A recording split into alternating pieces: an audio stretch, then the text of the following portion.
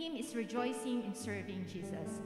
So as we kanina nagpa-practice kami, uh, uh, the song says, loving the Lord your God with all your heart, with all your soul, with all your mind, and with all your strength. And one way of showing His love for Him is through serving Him. Of course, serving means not only pabanjing-banjing or less, I mean, tawag doon, hindi siya uh, with, with all our best. Sabi nga, with all our heart, with all our soul, mind, and strength. So today, I want to invite you na, that we have to worship God. Yun nga, with all our mind, yung mind lang natin sa Kanya ngayon. With all our strength, with all, all our emotion. So, pakawalan natin yan. Without hesitation, let us worship the Lord.